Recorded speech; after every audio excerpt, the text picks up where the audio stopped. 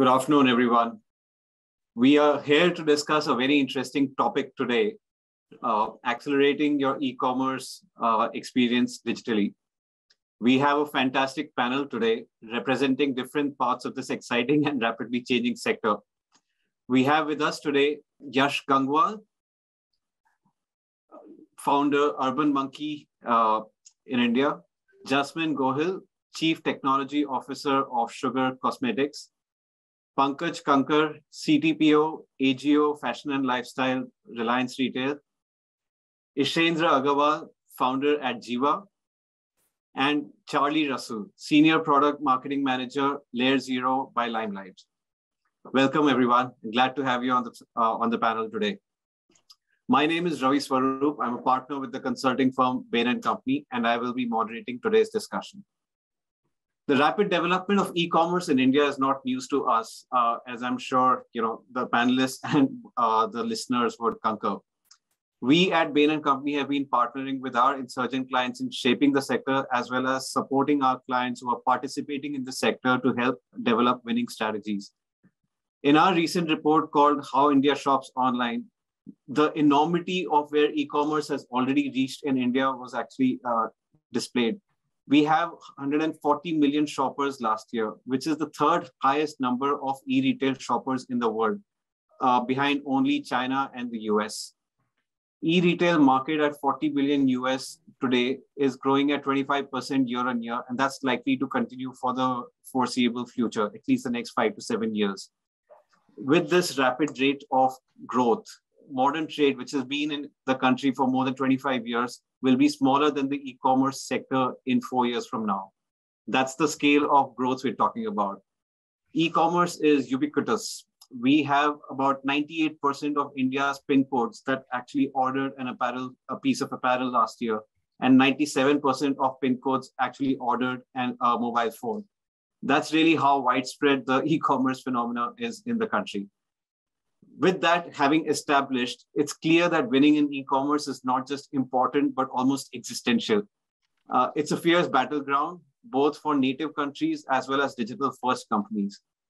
User experience is an absolutely critical component of winning in e-commerce. And that's really the topic of discussion today. With that brief background, I will start with the first question. And perhaps Ishendra, I'll point this to you, but would love for all the panelists to pitch in with their views. So while there is, uh, Ishendra, direct linkage between user experience and outcomes on e-commerce, uh, on e-commerce or transactions, there are perhaps larger implications of user experience. Could you share your views on how user experience actually impacts the brand image and uh, perceptions that users may have about the brand itself? Sure. Thanks. Thanks a lot, Ravi. Uh, you know, for uh, starting the discussion on user experience the importance of it in e-commerce industry. So actually user experience is a very important key to build a large brand in e-commerce. Because if there is no delight in user experience, no user will come back to you again and will make a purchase again, right? Because you know, with the increase in cost of marketing, cost of acquiring new user keeps on increasing, you know, as you scale. So, and if there is no repeat, then you essentially lose out on a free user and you also lose out on a customer evangelist who will talk about your brand to multiple other folks. And this in turn leads to your higher marketing costs which fits very bad in unit economics and hence the brand tax which is why having a right user experience is much much important. It's very important in the entire journey of building a large brand.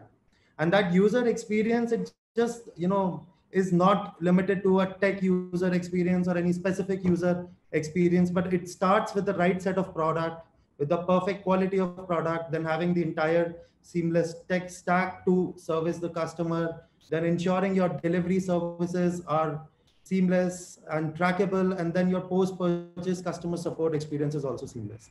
So it is just not limited to pre-purchase, but also the post-purchase experience that a user gets. Well, he makes a bunch of great points. Um, and you know, one of the things the research shows is that when people leave, they often don't come back. And one of the things that makes them leave is a poor user experience. So uh, I might start there. Anyone else got thoughts? I think you know Ishen rightly pointed out it is not only tech experience or uh, purchase experience that a lot of time we sort of focus on but i think the first thing is the product itself and the product quality and then a lot of post purchase experience you know which plays a very significant role in in you know the delight of the customer and they coming back uh, so i think this has to be looked holistic, holistically as ishan has mentioned so that's sort of what i would like to mention yeah, I think that resonates very strongly, uh, as, as Ishendra was talking about it. I mean, of course, all our businesses start with having the right product as such, but how we deliver that exp- uh, product and the experience of discovering, purchasing, and you know, uh, uh, receiving and experiencing the usage of that product. So it's the entire user uh, user user journey from discovery to usage, and uh, is really where you know, as uh, as providers of products and services, uh, you know, we have to think about the experience on all of these touch points. And that's really, I think, uh, where you were going, Ishendra, that it's not just the tech, but the entire experience. And a lot of it would be delivered perhaps through technology, but a lot of it through the processes. And, uh, uh, you know, uh, I, I, guess our organization sitting behind the technology. we'd love to hear uh, opinions from others uh, as well you know, uh, at uh, Urban Monkey, we, we kind of look at the whole uh, user experience and kind of flip it around. So, you know, if we were a retail store a, a, on the streets and we had a thousand customers coming in and 900 would have shoved stuff in their cart and left it at the payment counter, we would have like lost our minds as to, you know, why are there so many shopping carts at a counter? You know, we look at it at a very fundamental level as well that without having that experience, you're already uh, uh, giving the customer reasons to not trust you, which is why they're probably abandoning their cart and leaving. So it's it's it's like the most exp- most important or fundamental thing of being a D2C or a e-commerce brand has to be the website experience and the ease of use. Since there's so many regional languages, people not everybody knows add to cart or whatever but they know the icons in the shopping bags so it's, it's very very important in a place like india i feel that's a great point yes essentially you know uh, whether it's digital or in person right as as close uh, as you can get to an in-person experience, a live experience. You don't you don't wait for pages to load. You don't wait yep. for people to appear when you're actually visiting a, pay, uh, exactly. a store uh, and you're not uh, talking to animated objects. So how yeah. close can you come to a real experience on the digital world? That, that's yeah. a very interesting and refreshing thought. Yeah. So, great. So perhaps uh, Yash, Jasmine, I'll ask the next question to you. Uh, okay. You know, we spoke about the user experience and how that's important, uh, and how you think about uh, all the touch points. All of your businesses are deeply reliant, either fully or significantly, on e-commerce. How do you think about the key metrics, which in absolute terms or uh, from a trend perspective, help you mm-hmm. track and define success? Yeah, I think. So, yeah, I'll let Jasmine yeah. go first. Yeah, so there is a great line say which says like you can't improve what you don't measure, right? So it is very important to measure, uh, and there are key metrics uh, which you can measure, and the most important in e-commerce business is a conversion rate, right? I mean, everything boils down to conversion rate. Uh, so conversion rate is nothing but uh, so how many percentage of the users are making a purchase uh, after visiting your website. So that is a conversion rate.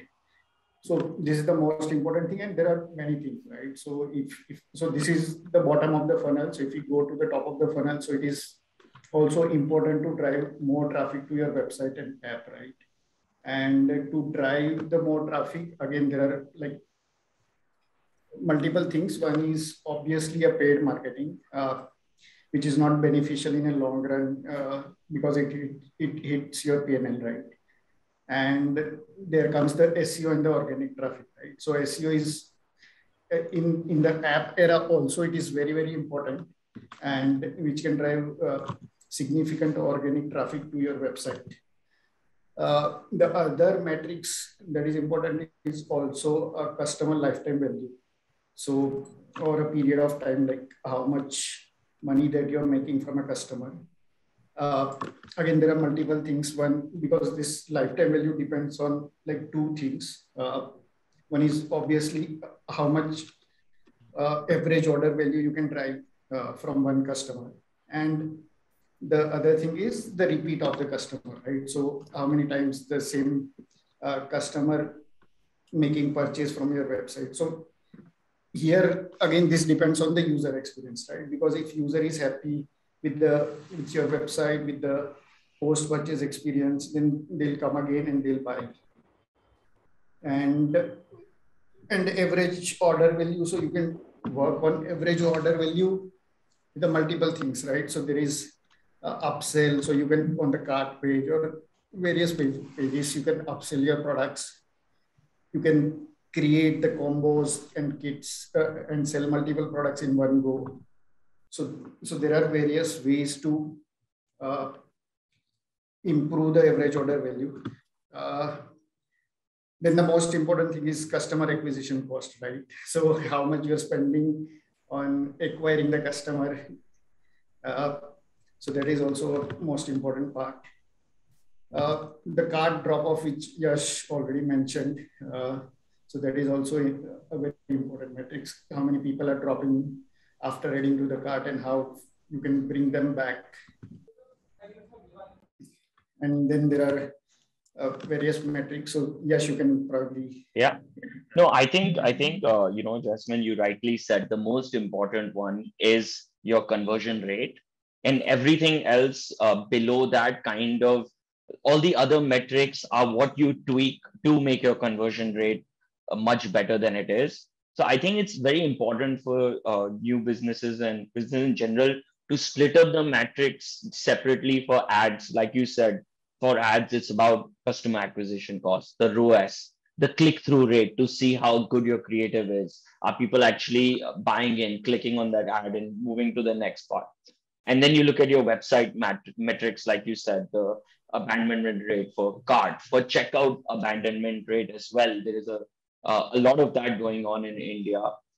And you know, ultimately, all these things do define your conversion rate. Uh, but I think one thing that is also important, which uh, we need to track as an e-commerce business, is your uh, metrics for your product. What is your sell-through rate?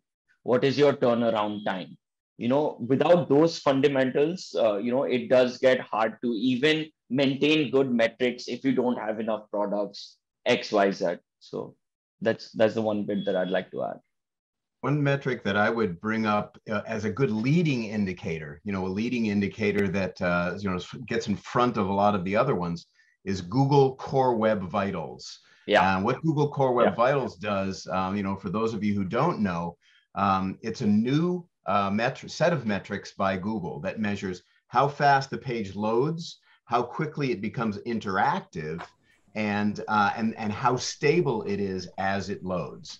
And what's amazing about Google Core Web Vitals and what to me has changed the game is that Google Core Web Vitals is now an SEO ranking factor. So back in the old days, if you wanted more customers, you had to buy ads. A better web experience was really only once people were already on your site.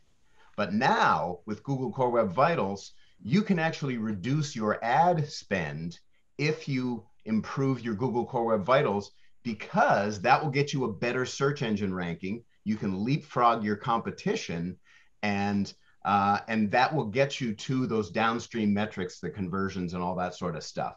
Um, the company that I work for now, Layer Zero by Limelight, helps e-commerce companies do this. Um, we've seen some pretty tremendous results. Uh, so Google Core Web Vitals is a leading metric that I would um, nominate. Other thoughts?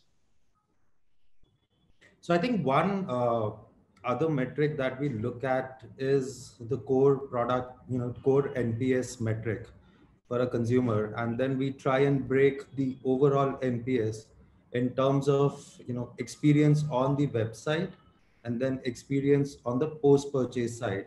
And then there is a three month NPS that we also conduct, which is on the NPS of the product side. So this is how we try and break our funnel. Right at the time of placing the order, there is one metric that is tracked, which is the overall experience on the website. Then at the time of receiving, there is one NPS that is tracked. And then three months after receiving, there is one more NPS that is tracked. And all these three NPS have a relation because the last one talks about the product quality. The second one, which is right after delivering, talks about the experience. First one talks about the pre-purchase experience of the consumer. So that also is, yeah.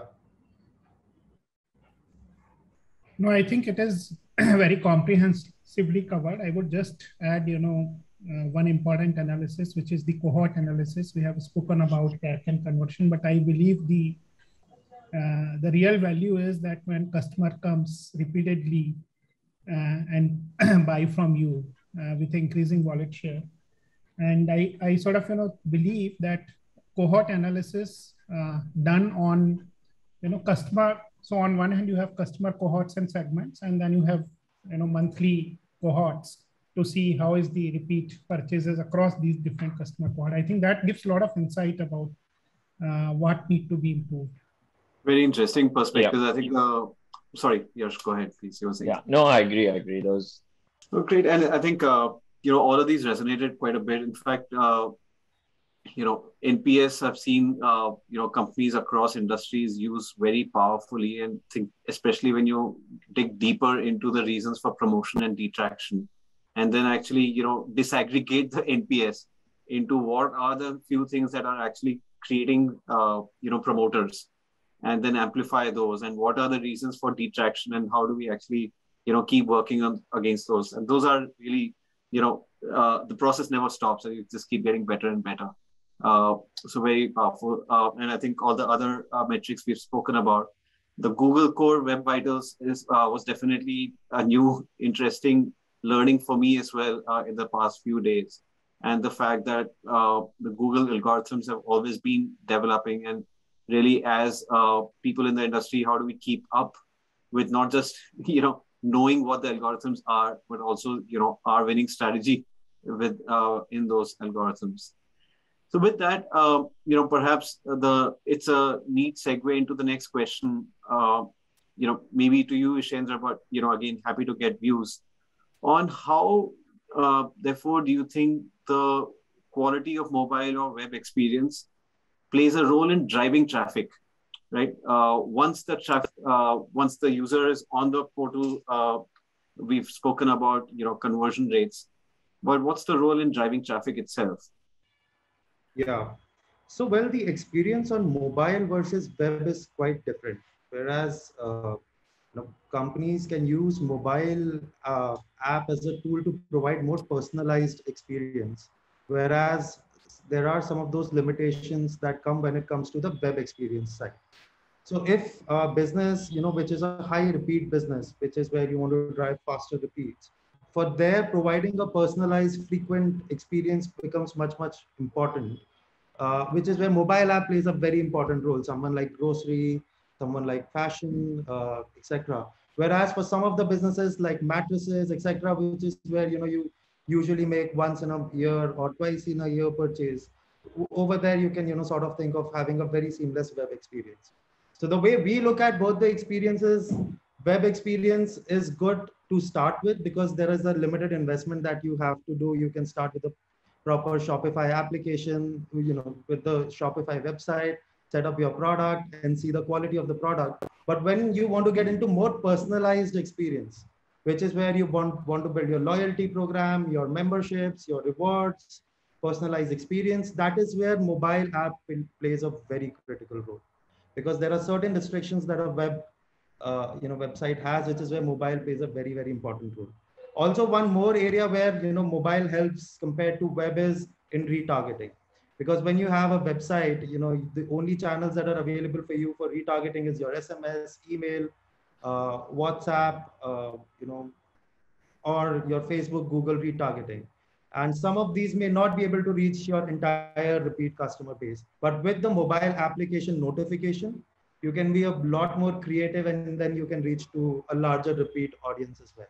So, you know, the way I would segregate is web mobile is a more personalized experience, requires a bit of uh, investment in terms of creating the stack but you can do a lot of innovation in terms of your uh, you know notifications etc whereas web is slightly a general experience, which is more around the product. Very interesting perspective, Ishendra, because I uh, very distinctly remember a time when mobile was seen as a limiting medium, right? Uh, you have limited real estate, you can't communicate much, you have to be very choiceful about, you know, the uh, load times and the size of images and data, uh, you know, used to be uh, at a premium.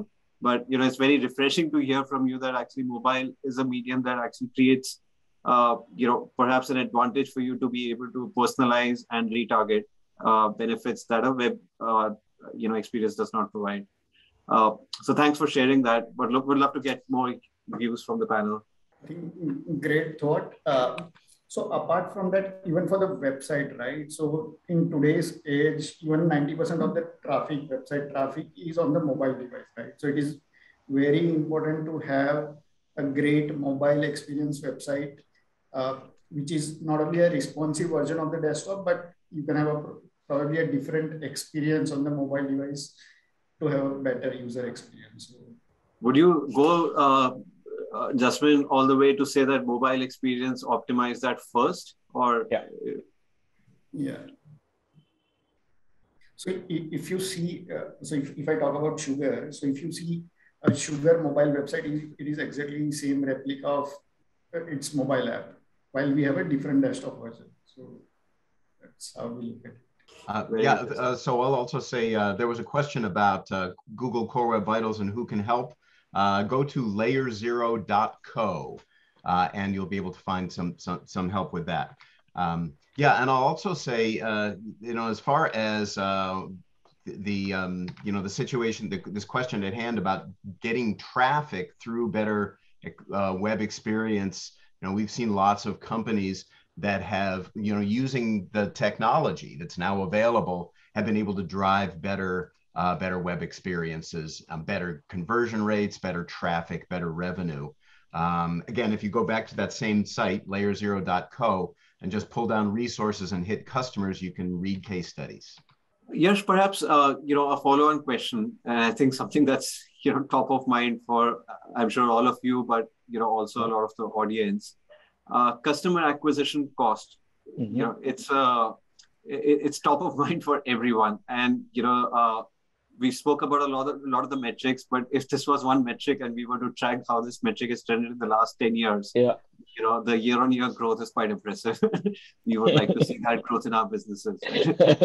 so, with that, you know, uh, you know, it's not only uh, you know starting a business is never easy but this is the new challenge for a new uh, a business where while the internet is is you know democratic provides equal opportunities to everyone it's now quite expensive mm. to uh, scale up a business especially from an acquisition standpoint how do you think about uh, in that context you know uh, we spoke about driving traffic but yep. is there a different lens one can apply to you know uh, customer acquisition uh, lower ad spend and rerouting that money to uh, potentially other areas that might help you get better uh, customer acquisition so yeah. optimization seo or anywhere yep. else you might yep. want to go so um, i think uh, seo is probably one of the most uh, most the best tool which gives you the most return i think everybody would agree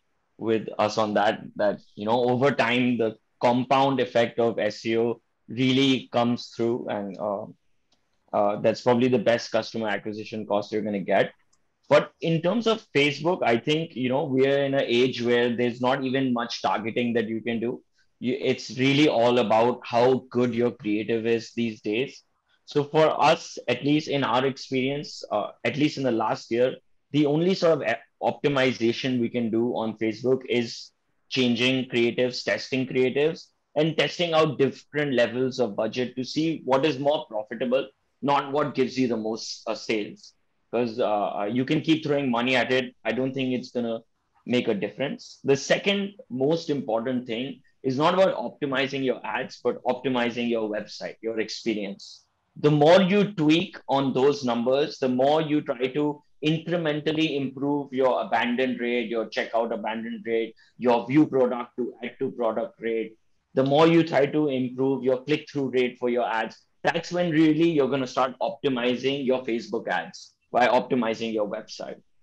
And another really good way I feel to improve your customer acquisition cost is to not worry about customer acquisition cost and start worrying about how to increase your average order value. Because the minute you start figuring out how to successfully do that, your customer acquisition cost is going to become a smaller share of your um, uh, of your uh, invoice value. Another thing that I feel now it is more important than ever before. Email is dead, at least for our target age group, uh, between like 16 to 30. Nobody checks their emails, especially the promotions tab.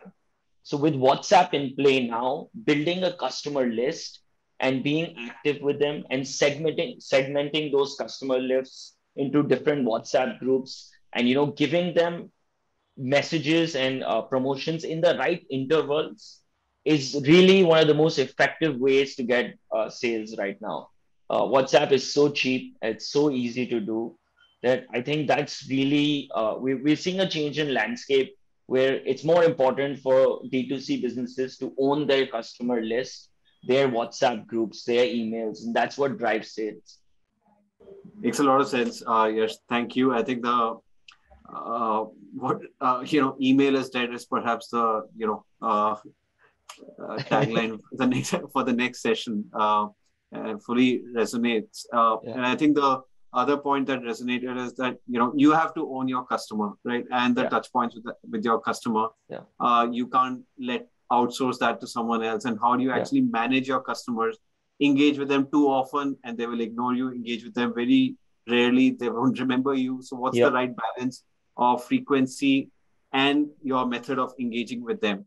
Yeah. Uh, I, I, think the larger, if I zoom out, the larger takeaway is that, you know, once acquired, a customer is very valuable, right? Yeah. Uh, and, you know, therefore extracting more value from repeats and getting them to buy more, buy again is actually way more valuable than finding the next customer who will transact with you.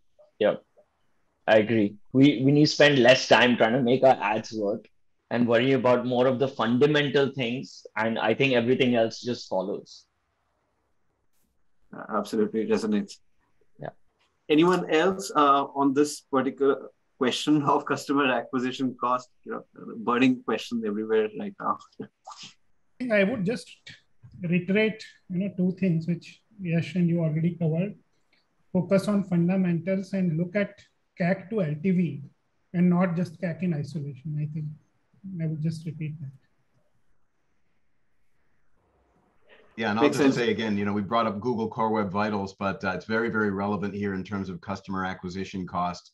Uh, again, you know, it's it's almost strange to think of website speed as being a factor in customer acquisition cost, but it actually is now. Um, so improve your Google Core Web Vitals and you'll reduce your customer acquisition cost. Thanks, Charlie. And Pankaj, since you went last, I'll uh, you know take the liberty of asking the next question to you. Uh, you know, especially because given the organization and the business that you work in, you know, uh, you've been uh, in the space for uh, for several years, and you know you're a part of the large organization that's actually doing a lot of different things uh, in the space as well. Uh, so therefore, uh, the question is around the development team and the capability of the development team. We all uh, perhaps know how critical it is to not just have the right tech stack, the right technology backbone, but also the right team uh, and the capability in that team. The question to you, uh, Pankaj, is building on top of that. So, how do we ensure a better development experience for uh, for the team, and how can that lead to an enhanced e-commerce experience on our uh, on the mobile or the website? How do we equip the team with the best tools available and drive their focus on the most value-added activities that impact experience? Uh, you know, uh, and I, you know, I wouldn't want to elaborate more on the question, but we all know that teams can get lost in, you know, fixing the basics, the fundamentals, uh, you know, or, or spend their time on things that are actually not driving experience, but you know, uh, perhaps some other objectives. So, sure. any thoughts on this would uh, would be great to have. I think you know uh, before tool, I would like to sort of speak about a couple of uh, software software aspects. You know, one is that uh, connecting the developers with the business as much as possible, right? I think that not only motivates them and tell them the impact of the work they are doing, because I think most of the developers, engineers, the biggest satisfaction is when you see people using the things that you have built and understanding, right? So for example, one of the things when I joined Lenskart, I started was that every engineer who is joining as a part of onboarding program, they would have to visit uh, at least two stores. And uh, the team which is joining in our uh, corporate office, where our warehouse and manufacturing was, have to visit that as well. And then similarly, the supply chain management team has to, some, some members of the team have to visit the warehouse before designing the new major feature and after launch of major feature, uh, feature and same applied to the, uh, to the uh, point of sales team as well, visiting the store. So that brings a lot more better perspective, right? Because what are the, the thing you are building depends on what is the con context, who are the users of that product you are building. And, and it also enhance the engagement of the, so I think that's one element uh, second, I would also say that, you know, a lot of time as an engineer, we think of, uh, the people think of features, right? That this is what business has told. And I think in calculating and uh, building this environment where people are not only allowed, but they are encouraged to ask question that why I'm asked to build this. No matter, you know, whether it is a CTO or a CEO asking, you know, I encourage this that, you know, ask what is the use, why this, and, and share your thoughts so those are on the software uh, elements. And then I think coming to the tools nowadays, you know, with cloud and building cloud native, I think a lot of things has become easy where uh, you are using not only infrastructure, but also platform and other services, whether it is messaging or it is a it's a ML toolkit like TensorFlow. So I think you know educating and connecting with your cloud provider so that your developers understand uh, these off-the-shelf software components which are available, right? And we are not reinventing wheel. Then with whole containerization and these technologies, again, you know, making things easier for to, uh, you know, not doing the some of the basic boilerplate work, uh, right? And uh, again, automation frameworks.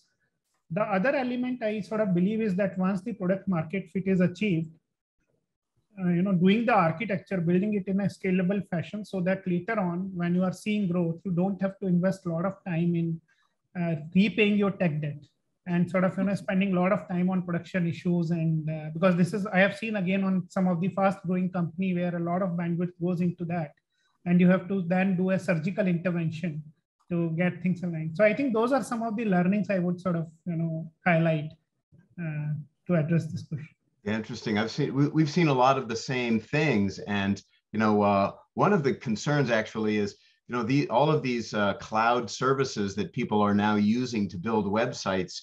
Uh, piecing them together has become harder and harder for developers. You know, we hear a lot of uh, challenges that CTOs and you know people who are building websites have uh, just just gluing things together and keeping them stuck together.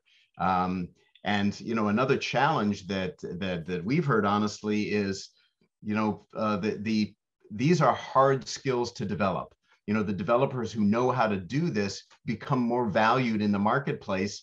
And you know, we've heard complaints about e-commerce companies that uh, you know they they do the hard work of getting better at building their website uh, and training these developers and then somebody comes and hires the developers away and they're back you know those skills go away. So um, you know in fact the, the one of the things that layer zero does is is kind of streamline that whole thing. Uh, for example it can take at least 20 web services to build a modern website um, you know aws services or google or, or microsoft azure or whatever services you use and uh, you know, Layer Zero kind of puts all that together into one platform. Uh, it's uh, it actually builds edge services right in, lets people build edge services like CDN uh, and edge compute and serverless just right into the application. So it kind of streamlines all of those steps. Um, so yeah, there's a there's a lot of challenges in building a website, and, and in ways it's getting it's getting more challenging, not less challenging. Thank you, uh, Pankaj, Charlie. I think the uh, just like email is dead, I think the other one is, you know, let's not spend time repaying the tech debt. so uh, I think uh, the entire thing about, you know, there is enough complexity now to uh, in trying to you know take away the complexity. So using 20 services to actually uh, all those services exist to make life easier but there is always uh, you know a better and a better tool. So how do you keep up to date? So uh, quite quite a challenge. Uh, with that maybe i'll transition to a burning topic which is not always top of mind from an urgency standpoint but i at least in my uh, priority list top of the list in uh, from a importance perspective, which is cybersecurity. You know, one uh, uh, one incident can actually take a business away. Uh, uh you know, and that's really uh, how critical it is. So perhaps, Jasmine, to start with, I'll ask this question to you. Uh, you know, cybersecurity and the number of incidents of hacking or frauds have actually increased in step with the growth of e-commerce, if not faster with that uh, background, how do you think about one the importance of cybersecurity in protecting your business growth, uh, and really, you know, any thoughts or ideas you uh, would have on how to progress on this? So you rightly said, right? It, it can make or break your company, right? So imagine a news uh, saying this many users is compromised from your company, right? It can break uh, the customer trust and the customer will be scared to put their information on, on your website and app, right?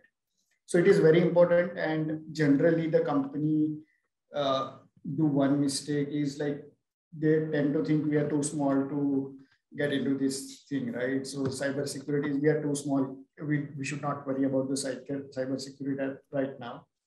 And generally, if you see the trend, the hackers, they target the smaller companies the most, right? So it is very important to focus uh, from the beginning uh, on the security. And there are like basic checks and balance, right? So on the server side, what are the firewalls?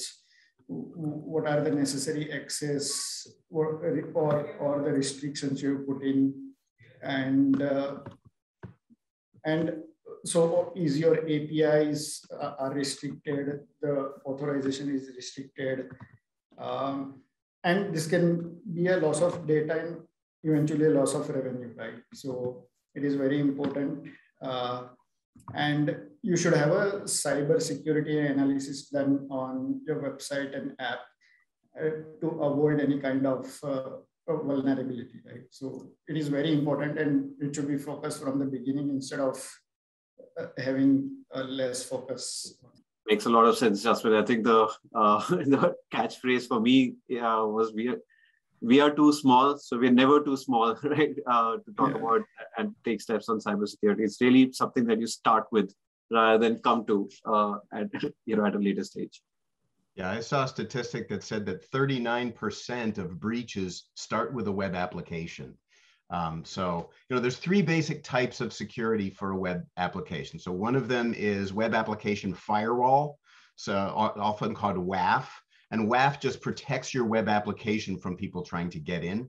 Uh, the second is DDoS attacks. So DDoS is a distributed denial of service attack, I believe, and that's a you know that's a type of attack that people try to design to attack a website and the key to that is being behind a large defense surface, like a large CDN, uh, like Limelights. And then the third is bots. You know, so there's good bots and there's bad bots. So if you have a bot security tool, you can block the bad bots and protect and and, and you know pass the good bots. Good bots like search engines, for example. How does one develop these, Charlie? Uh, they do sound quite interesting, but yeah. So well, um, you know, there's uh, the, the easiest way is to just go to a, a service like ours, like Layer Zeros, that that builds it in. Um, you know, we've got a kind of a seat belts included type of a philosophy. You know, you go buy a car, uh, you just have the seat belts included to protect you, the airbags included to protect you. Um, and so same deal here. Uh, if you, you know, if you're working with a company with, with layer zero, uh, the security suite is just already built in and you know easy to access. It's just from the same consoles and tools that you use to access everything else. That's very interesting. So essentially, you know, pretty much go turnkey on security as well. Focus on the product and the experience, but make sure that this uh, the aspect of security is covered, and you don't need to develop the security methods yourself, right? Uh, that's the that's the big takeaway. Don't ignore it, but go to the experts. Uh, it's great advice. Any other thoughts on cybersecurity? Else, uh, you know, uh, yeah. So I think one thing, you know, uh, as Charlie mentioned, and you sort of, you know, reiterated that that you know for some of these protection like WAF or bot attack, you know, don't need to reinvent the wheel. Uh, having said that, there is also security, you know, like data security and security in your code, and you need to be careful about. I think that's where the the whole idea of making it in the beginning uh, or shift left that you know don't do it after all the development and testing is done, but um, shift left and do it right from your design and development is another important element uh, beyond you know these tools. Yeah, I also think it's very important to uh, secure your Instagram and YouTube now more than ever. So a lot of a lot of these security issues, more than more than the website, like you know, uh, a bunch of our staff, like everyone keeps on getting emails of fake Instagram click here, something has been compromised, YouTube. I think that happens more than ever now. Income, like it really makes or breaks the e-commerce brand these days. That's a great point. So it's not just the, you know, uh, hacking attacks, but yeah. you know, friends and family and employees, you know, yeah, yeah. Disproportionate access. Yeah, so uh, they, they they're getting random emails sent to them. Not everybody knows to check xyz so you have to train everybody in your in your office especially the people with the access to not click on such things very basic stuff yeah. or put to fa for your instagram and youtube google analytics ads just simple things yeah yeah that, that's a good one yes i mean don't forget the basics because yeah. you know uh, very often those are the ones that get skipped yeah great uh, and perhaps you know now to uh, the last question I had on my uh, in my list. After which I'll go to some questions that the audience has sent across. But before I get to the audience questions, just some uh, would love to get views from this panel on what are the future trends that you know uh, the audience should be mindful of when we think about uh, you know the evolution of e-commerce in the next few years Pankaj, perhaps we could start with you, but would love to hear inputs and views from everyone on this. Sure. So, you know, I, you know, we can debate whether it's a future trend or not, but I believe that one of the biggest thing would be the converged commerce, right? And I, I see it moving from early adoption to the mass adoption phase over period of next few years. Uh, I still see that you know uh, the omni-channel or converged commerce experience still is fragmented rather than being truly converged and seamless. Uh, so that I see as a big trend. And when pandemic hit, the brick and mortar, everyone has to go, you know, the digital route. And now when the restrictions are easing out, uh, some of the early trends are indicating that there is a lot of heavy traffic in brick and mortar store, eating on the, especially in our category, eating on the uh, the e-commerce pie, right? Because after two years, people are suddenly out. It's not just about buying, especially if you move out from essential categories like groceries. And I think that that's where again the whole converged commerce is going to become uh, very critical. And I think the next wave in the converged commerce would not be that treat every channel as same, while providing a connected experience also complement them, right? Like, uh, so that I believe is a big, big thing. Then I see the live commerce and social commerce can be another big thing, uh, right? Because what we miss in the digital world is that human connection and conversation that you have with uh, sales executive and advice. And I think that's another big trend. And on the social side, you know, we are already seeing Pinterest and Instagram and, and, and the e-commerce having their, their presence and stores on, on the social side. So that again would be a very interesting trend to look forward to. Third, I would say is the whole sustainability thing. And as we see the, the generations which are coming are very, uh, very aware of these things. And in fact, in their decision making, this is increasingly becoming an important factor about sustainability or, uh, or carbon footprint, environmental, ecological uh, uh, safety of things. So it it's a, about the products that you are selling. It is about the delivery methods, you know, like using electric vehicles or drones, as well as packaging, right? Like it encompasses across. So I think that would be another uh, sustainable or green commerce would be another important thing to look look forward to. Again, AR/VR is moving from early to mass adoption, uh, but I think uh, we have to still see, you know, how it fans out. Uh, the virtual currency we have seen wallet, credit card, and now you, we would see virtual currency as a payment option.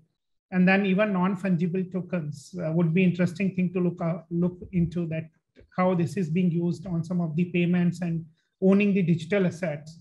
And if we combine all these three i think it uh, point us to an important trend to look forward to which probably is hard to predict now we have early sciences this whole metaverse uh, which is going to be another area where you are going to bring the physical and digital products and experiences and provide better uh, converged experiences into this. And this potentially is something like, you know, what we used to think about internet in 1980s uh, is what is sort of metaverse probably today. So it is hard to predict, but it's an interesting evolution to look after. And uh, this potentially can provide uh, very rich immersive experience connecting physical and digital as well as taking personalization to next level, you know, like hyper personalization. So I would say these are some of the trends that I would uh, sort of very eagerly would be looking forward to. I think uh, just to add to what Pankaj was saying about uh, you know converging everything, I think I really agree with this brick and mortar point where more and more people are going offline, and I think that that is kind of created an and with COVID, I've been seeing a lot of pop-ups all around India coming up for three, three months. And these are mostly D2C brands who are setting up pop-ups all around India. And some like Lenskart is doing the endless aisle model where, you know, uh, they, they're still fulfilling everything from, from their one center, but still having retail stores. I think this combination of pop-ups and the endless aisle and brick and mortar is really going to bloom in India, where the D2C brands who have kind of enjoyed this wave of growth in the last five years will take that stepping stone and go offline, maybe in a smaller scale in short bursts everywhere. But I really think it's going to become a very upcoming trend in the next two to three years.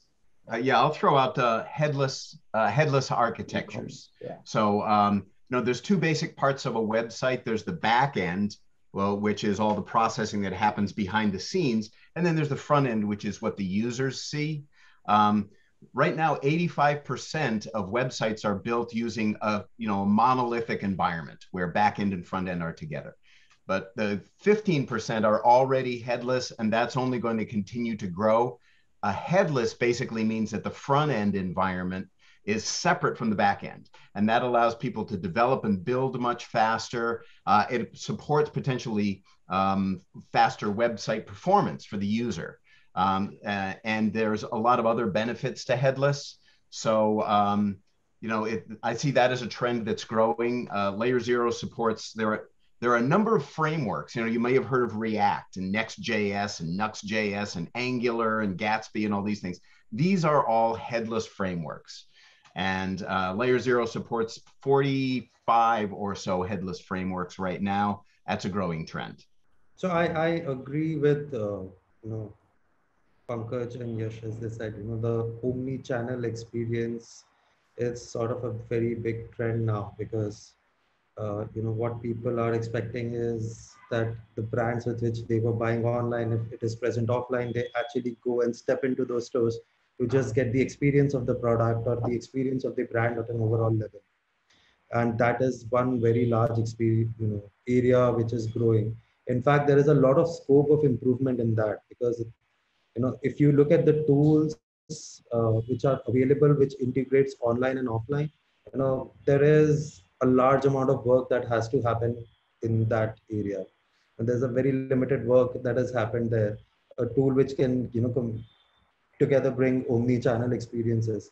And once that also sort of matures, that you know will sort of help a lot brands in going towards the omni-channel. But definitely, omni-channel is a very large area and a potential area where you you know we can expect a lot of startups coming in, building tools for the companies which are you know large brands which are going omni-channel. Makes a lot of sense. I think uh, a lot of this resonates, right? Ultimately, we are all humans, and there is a certain uh, you know all the fantastic experience that one gets uh, online, uh, whether it's mobile or website, complement that with certain touch points which are physical, and then just you know it amplifies the impact that your product or service or proposition can provide to the uh, consumer.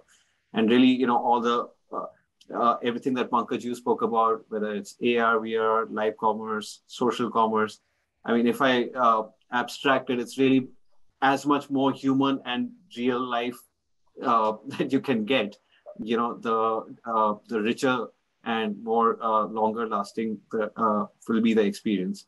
Uh, and of course you know i am keenly looking out for how what happens to you know nfts metaverse uh, virtual currency you know personal opinion i think all of these in some shape or form will actually be instrumental and shaping how you know many of our customers are engaging, if not with us, then with others. So uh, that's definitely uh, going to be a case. So thank you. Very interesting uh, answers. With that, there are a couple of questions that uh, users have sent across, and I will uh, ask them. Uh, Charlie, starting with you. There is a question, and we were talking about future trends. There's a question on blockchain. Hmm. How can blockchain help in e-commerce? Uh, okay, uh, so I'll tell you my thoughts on it. Um, blockchain, so first of all, blockchain is a technology about uh, trust. And so we think of cryptocurrency as a, the most popular use of blockchain. Um, and those cryptocurrencies uh, use massive compute difficulty to make it impossible to crack. And that's how trust is built. Um, so certainly, you know, financial transactions via cryptocurrency are one use of blockchain, but if you uh, if there are other ways to like for example if you have a trusted entity behind a blockchain the, it, do, it does not require a room full of servers to process the transaction and it becomes much less compute expensive so there are ways that so companies may choose to employ blockchain where they become the trusted entity entity or they use a bank or someone like that to be the trusted entity and that can make the um, transaction cost much uh, lower friction. But honestly, I can't wait to see what happens with blockchain. I don't know what other folks might thought other folks might have about blockchain. You know, I think you, you mentioned about virtual currency. I think another big area where blockchain can play significant role, as you mentioned, it is all about trust. And wherever there are distributed uh, autonomous entities involved, blockchain can play a role. I think supply chain and whole distribution and logistics is another big area where logistics blockchain can play a very significant role. You know, like as it is called as from farm to table, you know, dining table tracing. Uh, you know, where the raw material or what we are calling in fashion and lifestyle is from yarn to, you know, final garment. Right. So I think it can play a very significant uh, role and bring a lot of new other capabilities and experiences uh, as far as trust and tracing is concerned uh, to the consumers. Great. Another technology that I'm I'm keen to learn more about uh, and actually be an operator in some uh, other lifetime. Uh, so the second question uh, from the uh, from the viewers, and that's not pointed at any individual as such. So I'll leave it open to the floor. Uh, and the question goes as such: We are in e-commerce in home decor, indoor gardening products, fragrance candles. Uh, it's almost six months to launch our website. What will be the most effective way to get more leads to our website? Currently, we do social media marketing campaigns, but conversion is not so good. Can you highlight on influencer marketing? Uh, and will it, what do you think, uh, will it be helpful? You know, at a start, directly relying on Facebook, Google for results sort of becomes slightly challenging because, uh, you know, no one knows about the brand uh, and then you can only target people who actually like the, you who are of similar interest as of the product which is a you know which is quite a you know limited set and then there are other brands which are competing.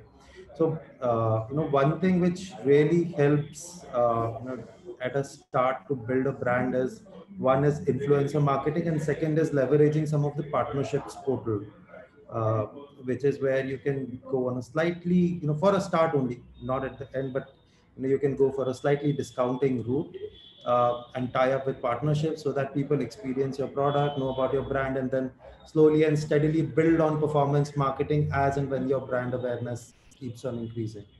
So uh, partnerships and uh, uh, influencer marketing play a very important role. The reason why influencer marketing also plays a very important role is because a lot of these micro influencers, you know, are quite popular in their own geographies, and uh, you know, once they start uh, talking about the brand or once they start telling about the brand, you start getting people who have a similar interest of the brand, and then your Facebook, Google sort of automatically keeps on identifying the interest groups that are relevant to your product uh, so which is where you know these become your small brand ambassadors, a very effective source of getting you know uh, brand ambassadors uh, to identify the like look you know audiences for your Facebook Google.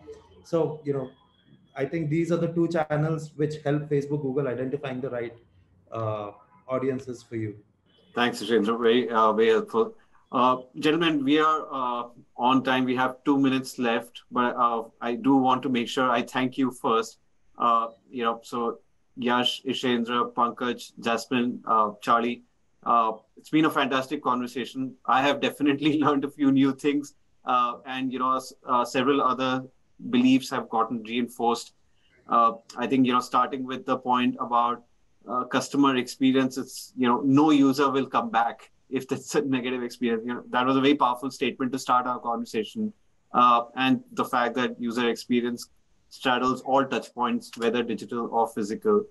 Uh, we spoke about metrics, how conversion rates, and then all the underlying metrics, whether leading, lagging, intermediate, you know, are really going towards, uh, you know, conversions.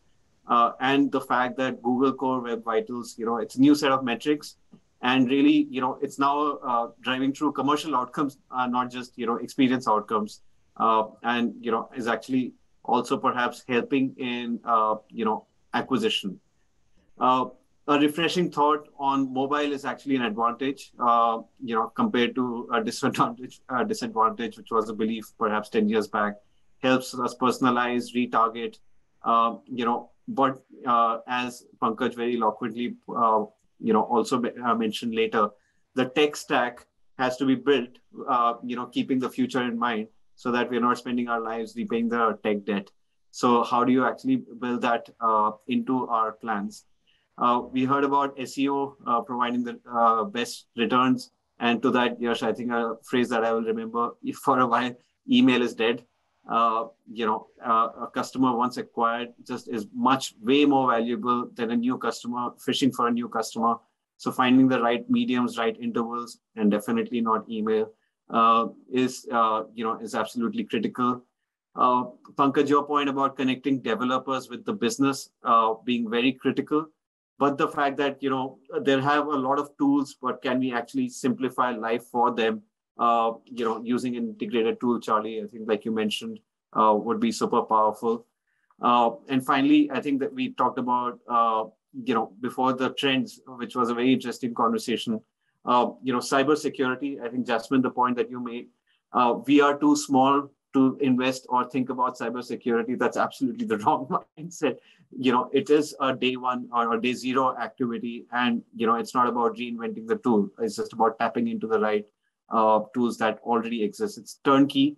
And yes, the point that you made about simple things, uh, you know, think about the simple and the complex things on cybersecurity. And finally, I think we had a very, very interesting, uh, you know, set of comments and uh, inputs from you on converged commerce, live commerce, social commerce, sustainability, which is a trend, uh, you know, across industries, uh, you know, and, and lots of different interpretations of sustainability, uh, and lots of new things coming across on virtual currency, NFTs, metaverse.